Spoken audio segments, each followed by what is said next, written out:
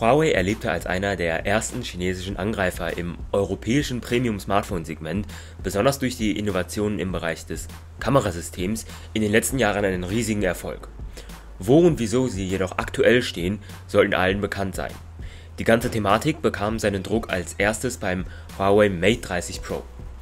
Ursprünglich geplant als Nachfolger des erfolgreichen Mate 20 Pro, machte es sehr viele Investitionen im Bereich Design und Kamerasystem.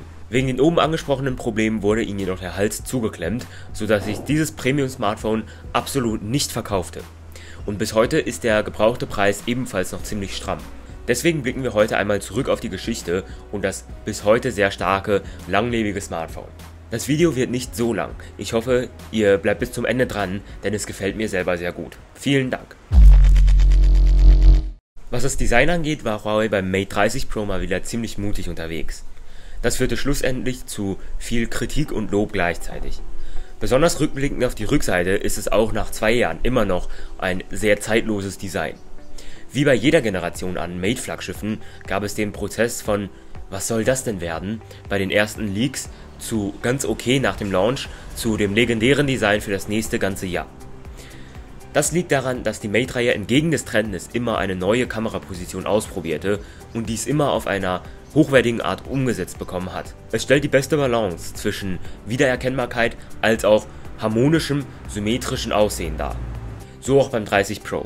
Auch wenn mir persönlich die Farben in den Glasversionen nicht eindeutig zusagen, finde ich das Kameramodul genau perfekt positioniert und durch den Ring herum ergänzt.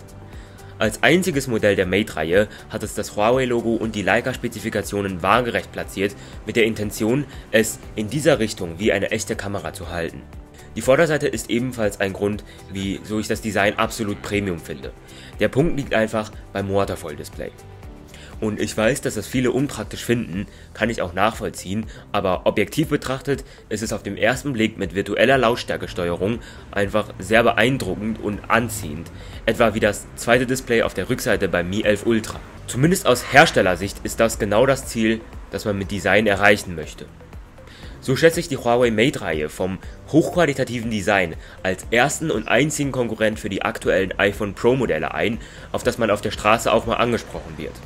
Nach vielen anderen Flaggschiffen danach fällt beim Mate 30 Pro immer wieder die perfekte Kontrolle der äußerlichen Abmessungen auf.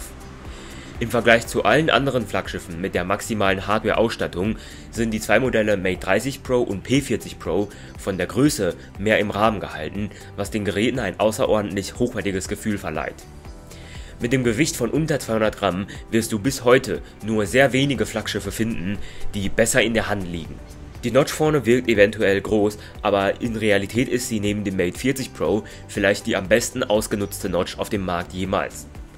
Abgesehen von einer sehr guten dreidimensionalen Gesichtserkennung, die für mich besser als Face ID, denn auch im Querformat funktioniert, gibt es einen Haufen intelligenter Funktionen, die den Alltag vereinfachen wollen. Neben dem zum Beispiel Verstecken von Benachrichtigungen bei Annäherung einer zweiten Person, berührungslosen Gesten, stelle ich besonders meine wichtigste Funktion vor, nämlich automatisches Drehen. Normalerweise habe ich diese Funktion, da sie auf dem Tisch, im Bett oder beim schrägen Verwenden einfach zu schlecht funktioniert, immer deaktiviert. Die Geräte der Huawei Mate-Reihe verwenden die Sensoren in der Front, um deine Blickrichtung zu scannen. So wendet sich das Smartphone immer nach der Richtung deiner Augen. Wenn du auf dem Sofa liegst, ist das Bild auch entsprechend im Hochformat. Das ist wirklich ein sehr gelungenes Feature, das mir den Alltag persönlich vereinfacht hat. In der Kamera-App kennen wir es von anderen Smartphones so, dass die Sensoren im Smartphone oft ungenau sind und man die geschossenen Bilder im Nachhinein noch einmal drehen muss. Das Mate 30 Pro verwendet auch hier die Sensoren und dreht das Bild nach deiner Blickrichtung, sodass alle Ergebnisse im richtigen Winkel sind. Abschließend kann ich sagen, trotz dessen, dass es sich hierbei um ein Smartphone aus 2019 handelt, ist es designtechnisch immer noch eines der elegantesten und definitiv anderen Smartphones im gleichen Preisbereich voraus. Zumindest wenn ich die immer gleiche Punch-Hole links oben mit Dual Curve bei den aktuellen Flaggschiffen sehe, bin ich dann doch schon ziemlich enttäuscht. In der Vergangenheit und auch Gegenwart haben Huawei-Flaggschiffe immer mehrere Display-Zulieferer gehabt. Dabei waren die besonders die Panels von BOE von der Klarheit noch weit hinter dem aktuellen Flaggschiff-Niveau. Die Mate 30 Generation gehört zu den seltensten Huawei-Geräten mit einer ganzen Reihe an Samsung-Displays. Egal ob von der Klarheit, den Blickwinkeln oder den Farben, schlagen sie qualitativ alle die meisten 40 Pro-Geräte. Das kann teilweise sogar wichtiger als die Auflösung oder eine hohe Bildwiederholfrequenz sein. Des Weiteren unterstützt dieses Display nette Funktionen wie adaptive Farben, ähnlich wie True Tone, für ein angenehmeres Betrachten, sowie DC-Dimming, welches eher schonender für die Augen ist. Grüße an das iPhone 13 Pro. Im Vergleich ist der Lautsprecher schon unangenehmer. Wir haben lediglich einen Mono, was für die Position der Mate-Reihe schon etwas wehtut.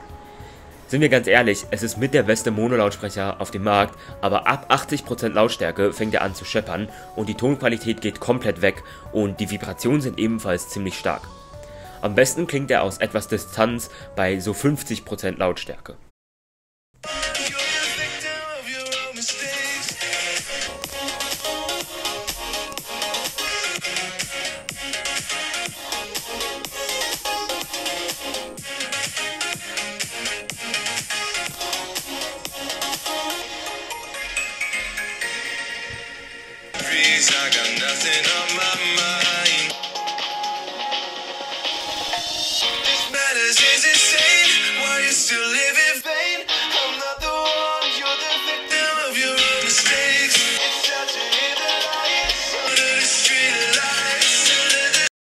Das haptische Feedback ist beim Mate 30 Pro ebenfalls auf einem sehr hohen Niveau, denn als Mate-Reihe verwendet es den besten X-Achse-Vibrationsmotor von Huawei, der lediglich etwas weit oben positioniert ist. Dies dient des besseren Feedbacks bei Lautstärkesteuerung, das wirklich sehr realistisch wie ein echter Knopf ist. Aber beim Tippen muss man sich anfangs etwas dran gewöhnen, er ist jedoch wirklich sehr hochqualitativ.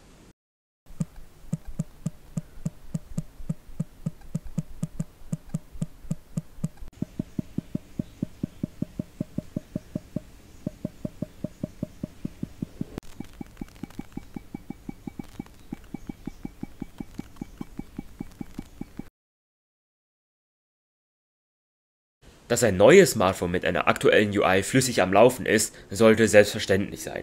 Wenn ein altes Smartphone immer noch mit einer aktuellen Benutzeroberfläche flüssig läuft, dann zeigt das die Stärke des Herstellers. Beim Mate 30 Pro lässt sich heute die EMUI 11 bzw. HarmonyOS 2.0 Benutzeroberfläche vorfinden. Ich weiß nicht seit wann die konstante Flüssigkeit die größte Stärkste von Huawei's Benutzeroberfläche geworden ist. Ich persönlich bin jetzt viele Monate im Jahr mit einem Huawei Smartphone rumgelaufen. Ruckler, Abstürze, Frame Drops gab es während der Zeit quasi nicht. Viele werden vielleicht fragen, wie ich den Unterschied von 90 oder 120 Hz auf 60 Hz nicht merken kann. Tatsächlich, im senkrechten Scrolling durch das Twitter-Feed ist auf jeden Fall das Verhalten von hoher Bildwiederholfrequenz geiler anzusehen, aber es beschränkt sich ja nicht nur auf das. Aktuelle hohe Bildwiederholraten, abgesehen von Apple, Samsung und Huawei, sind manchmal 120, manchmal gesperrt auf 60, manchmal durch Ruckler 3 Bilder pro Sekunde. Dieses Hin- und Herwechseln ist von der Nutzung sehr unangenehm. Insgesamt finde ich daher konstantes 60 Hz langfristiger gesehen angenehmer als die Interpretation von 120 Hz der meisten aktuellen Hersteller. Und wenn man sagt, iOS hätte die besten 60 Hz auf dem Markt, dann wäre Huawei mit Harmony OS ganz klar auf der Platz 2. Und ich hatte vorher tatsächlich immer 120 Hz Android Smartphones in der einen und das Mate in der anderen Hosentasche. In der Nutzung ist es mir nicht länger störend aufgefallen. Diese Stabilität zeichnet sich besonders noch dadurch aus, dass Harmony OS nach meiner Erfahrung für normale Leute, die sich nicht besonders mit Technik auskennen, immer noch die sorgenfreiste UI ohne Nervigkeiten ist. Das macht es auch deutlich schwieriger, von ihr wegzuwechseln. Beginnt mit der guten Struktur und Verständlichkeit zu dem beispielsweise umfangreichen Taschenrechner, intuitiven Dateisystem, Galerie, Fotobearbeitung. Alles ist so, wie man es sich als normaler Nutzer erwartet. Letztens von einem Bekannten vom P40 Lite wegen den fehlenden Google-Diensten zum Poco F3 gewechselt, von den Hardware-Verbesserungen nichts bemerkt, jedoch viele Stellen in der Software einfach komplizierter und schwieriger zu verwenden, sodass er wieder zurückgewechselt ist. Des Weiteren muss man sagen, dass die Verbindung von Harmony OS heute mit anderen digitalen Huawei-Produkten sehr ausgereift ist. Das haben wir bereits intensiv in einem vergangenen Video thematisiert. Wenn du dich nach einem guten Android-Ökosystem umsiehst, unterstützt das Mate 30 Pro alle benötigten Funktionen. Natürlich, keine Google-Dienste muss man auch noch einmal erwähnen, denn für normale Nutzer wird das eine Einschränkung dagegen sein. In den vergangenen Jahren war die starke Akkulaufzeit immer neben der Kamera das größte Merkmal von Huawei Smartphones. Die im Mate 30 Pro ist auch wirklich als letzte Mate-Generation anders gut.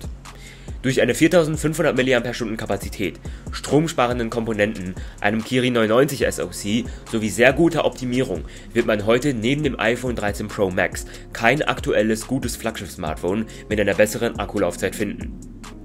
7 bis 8 Stunden Displaynutzung sind nämlich jeden Tag drin. Es ist nicht das Gefühl, dass der Prozentstand nie nach unten fällt, aber im Alltag hat es einfach, egal wann, immer noch genug Akkuprozente übrig, um sorgenfrei aus dem Haus zu gehen, obwohl das letzte Mal aufladen schon sehr lange her ist. Ich sehe mehrere Kollegen, die mittlerweile mit einem damals ausreichenden Fine X2 Neo nur noch auf 3 Stunden Display On-Time kommen und das Huawei ist daneben noch fast wie am ersten Tag. Auch wenn die 40 Watt Supercharging bis heute im Vergleich zu 65 Watt für 300 Euro Smartphones wirklich nicht mehr die schnellsten sind, weiß ich wirklich nicht, wer häufiger an der Steckdose hängt. Das Kamerasystem des Mate 30 Pro war damals ohne Vorhänge ganz oben angesiedelt. Als Nachfolger vom P20 Pro, P30 Pro. Die die Geschichte kennen, wissen schon Bescheid. In den letzten Tagen meiner Verwendung war der größte Mehrwert für mich immer noch die dreifache optische Zoom-Kamera. Die, die mich kennen, wissen, dass ich hohe Brennweiten für ihren Look liebe. Das Mate 30 Pro kann man bis heute vom Zoom von dreifach bis fünffach gut verwenden. Die Fotos sind meistens ansehnlich. Auch wenn die Generation der Zoom-Kamera bereits aktuellen Nachfolgermodellen nachsteht, habe ich nicht gedacht, dass es sich besser als 3, 4 Top-End-Flaggschiffe schlägt. Die restlichen zwei Kameras sind dann keine Besonderheit mehr, aber auch ziemlich stabil zum Verwenden. Besonders der Nachtmodus kann bis heute gut mitspielen.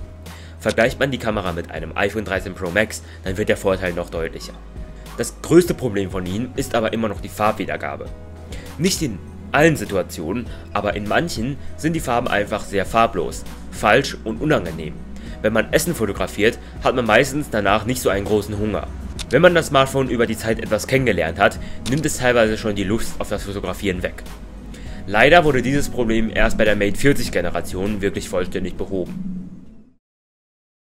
Am Ende des Videos fragen sich viele vielleicht, wieso ich in 2021 genau das Mate 30 Pro gekauft und für ein Video herangezogen habe. Ziemlich random, aber ich sage dazu nein. Im Vergleich zu heutigen Smartphones hat es vielleicht keine hohe Wiederholrate, keine so zuverlässige Kamera-Farbwiedergabe, keine zwei Lautsprecher, aber es hat immer noch das seltene Streben nach einzigartigem, hochwertigem Design und das Streben nach Einhaltung der Größe in einem Flaggschiff-Smartphone. Ja, bis heute finde ich nämlich kein eleganteres Flaggschiff-Smartphone als das Huawei Mate 30 Pro.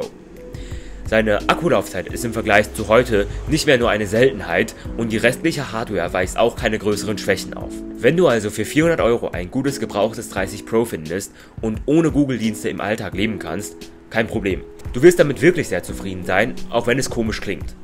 Ich gebe dir ein reales Beispiel. Üblicherweise habe ich immer mehrere Smartphones bei mir herumliegen und nehme im Alltag da draußen, ohne drüber nachzudenken, immer das mit, wo mir die Nutzung am meisten Sicherheit bietet.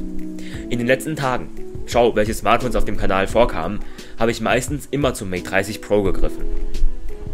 Nach den Erfolgen der Mate 20 und P30 Reihe kam das 30 Pro als erstes Huawei Smartphone ohne die vorinstallierten Google-Dienste. Da im europäischen Markt sowieso eher die P-Reihe beliebten Hype mit sich zieht und es keine größeren Neuerungen auf Werbeblättern zu sehen gab, wurde dieses Smartphone kaum vermarktet und der Ruf war nicht sonderlich gut. So viele Investitionen umsonst gemacht, denn für Huawei war die Generation Mate 30 das erste Mal der gewagte Schritt in Richtung einzigartiges Premium-Design. Sei es bei der Rückseite oder dem Water-Display vorne. Es war ein erfolgreiches Ausprobieren und Abheben von der Konkurrenz. Diese Veränderungen prägen die Smartphone-Welt bis heute. Und mit der Mate 30 Generation veränderte Huawei das Denken der Smartphone-Fotografie durch eine erste Investition in eine gute Ultraweitwinkelkamera sowie das Streben nach Videoqualität. In vielen der oben genannten Funktionen sehen wir eigentlich das Resultat der vieljährigen Investitionen in verschiedene Bereiche. Das ist genau das, was zurzeit noch anderen chinesischen Herstellern fehlt. Warum kann das Mate 30 Pro ständig seine Augen tracken, um das Display zu drehen? Weil sie durch die entwickelte NPU des Kirin 99 unter sehr niedrigem Energieverbrauch Daten abgleichen können. Und Huawei war mit dem Mate 10 Pro in 2017 der erste Hersteller, der eine NPU im SoC verbaute und Bewertungen wie unnötig oder nicht bemerkbar ignorierte. Im Quad-Kamerasystem waren Huawei-Geräte ihrer Zeit voraus, weil sie die ersten waren, die durch mehrere Kameras die Bildqualität verbesserten. Es ist die langfristige Investition, die dafür sorgt, dass du dich in Zukunft mit eigenen Funktionen von der Konkurrenz abheben und sichern kannst. Das kurzfristige Verschwinden von Huawei gibt nun anderen chinesischen Herstellern die Chance, hier endlich einzusteigen. Ich weiß nicht, ob viele Leute wie ich sehr in der Nostalgie leben. Es war der Sommer 2019, an dem ich gerade die Branche betrat. Ich erinnere mich sehr genau, wie ich nach der Vorstellung aufgeregt alle Gruppen mit den Funktionen des Mate 30 Pro zugeschickt habe. Ich kam gerade aus der Reise mit den schönsten sechs Wochen im Leben zurück und habe bereits von dem nächsten Jahr geträumt, bis Covid-19 kam. Bis heute sind zwei Jahre danach wie im Flug vergangen. Und von der Perspektive des sehnsüchtigen Ichs und des Warten auf eine nächste Reise ist gefühlt nichts passiert, aber von gegenwärtiger Perspektive rückblickend lernte ich viele neue Menschen kennen, durchlebte einen Umzug, eine Klasse, eine Pandemie, einen YouTube-Kanal, viele Entwicklungen und Freundschaften. Sommer 2019 habe ich nicht einmal davon geträumt, irgendwann ein Mate 30 Pro hier in meiner Hand liegen zu haben. Ich habe es selbst erst Anfang 2020 im ersten Mediamarkt anfassen können.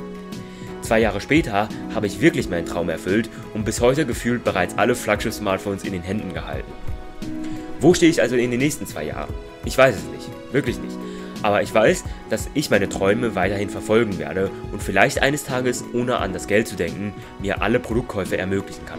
Das Huawei Mate 30 Pro erinnert mich heute zurück an die alten Zeiten und gibt mir Motivation, nach vorne in die Zukunft zu schauen. Vielleicht mögen wir auch deswegen so gerne ein bestimmtes Smartphone. Nicht weil es unser Alles ist, aber weil es einen wichtigen Teil von uns in unserem Leben bei seiner Entwicklung begleitet. Für meine aktuellen Verhältnisse als Smartphone-Fan fühlt es sich unglaublich lang an, dass mich das Mate 30 Pro jetzt zwei Monate begleitet hat. Aber selbst für diese zwei Monate, was darin passiert ist, in der Galerie sehe ich die letzten Tropfen der Sommerferien. Den Schulanfang, Eindrücke neuer, alter Produkte, Bilder einer verlassenen Freundin, Planespotting, also Zeit geht echt schnell vorbei. Okay, sollte euch dieses Video weitergeholfen, inspiriert oder entspannt haben, dann vergesst nicht den Kanal zu abonnieren, um keine weiteren Videos rund um aktuelle Technikprodukte mehr zu verpassen. Wir sehen uns im nächsten Video wieder.